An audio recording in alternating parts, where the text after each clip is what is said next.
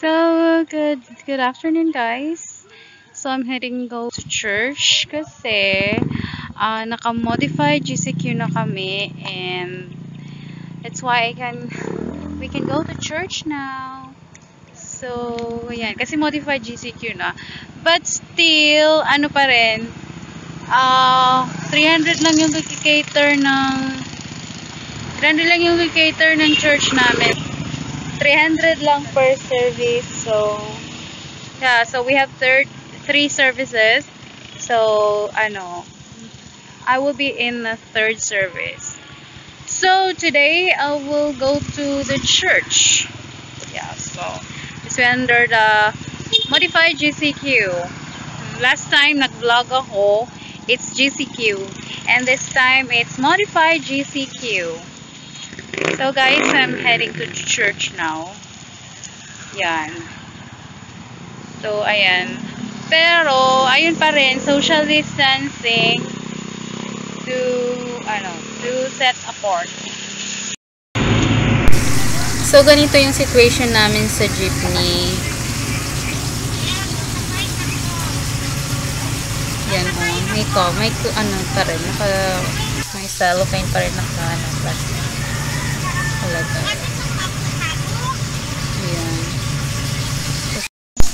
Kasi ito na guys, dito kami sa church. Konti lang lang talaga yung pumupunta kasi at this time, hindi pa alam ng iba announcement na pwede na pala pero still limited kasi yung below 20 years old hindi pwede magpunta even the senior citizen. So limited lang talaga.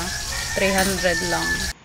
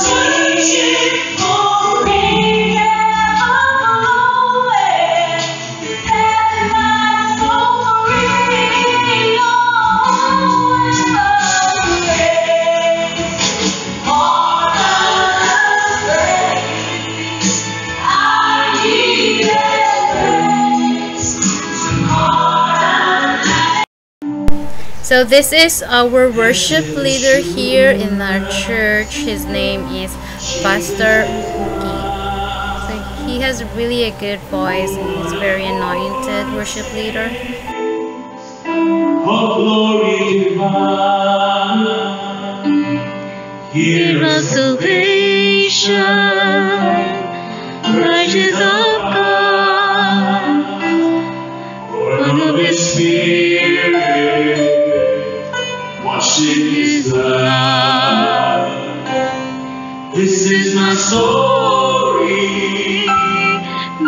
is my song.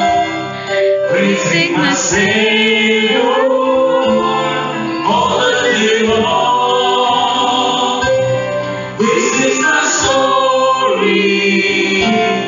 This is my song. Praising my Savior all the day long salvation.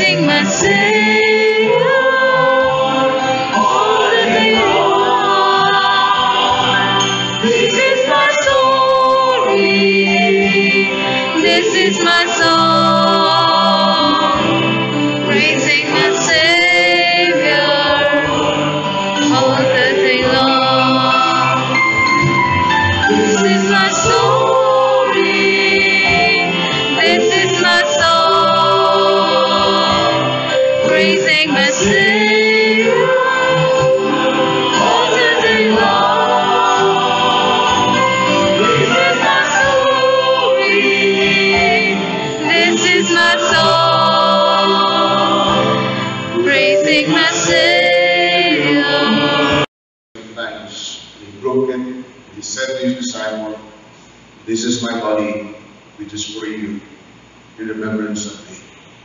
That even in the book of 1 Peter chapter 2, verse 24 says, that we might die to sin and live for righteousness.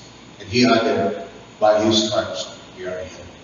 And with the death of our Lord Jesus Christ, it's not only the, the body of the people we did not beneficial, sila makabot sila kami maraming safe. Sa tagal ni Lord, God bless you, Baba. Still number.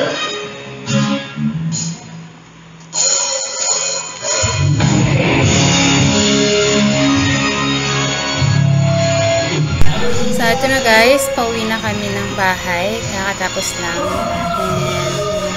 Naka-different exit yung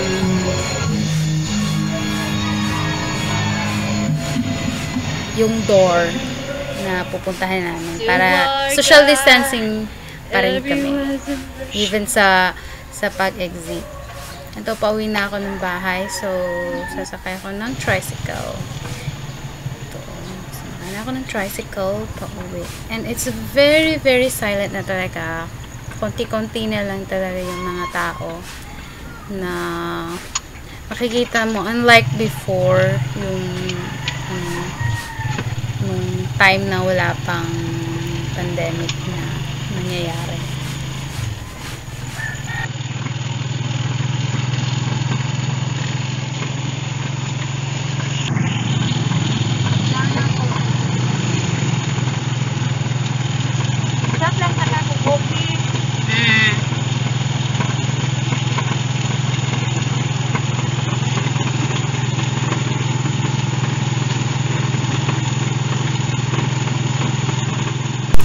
So, ito yung daan papunta sa amin.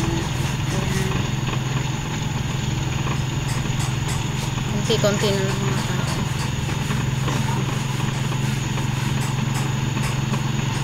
Ayan. Kaya I decided to go in the morning na next time. So, close pa yung iba't ibang store.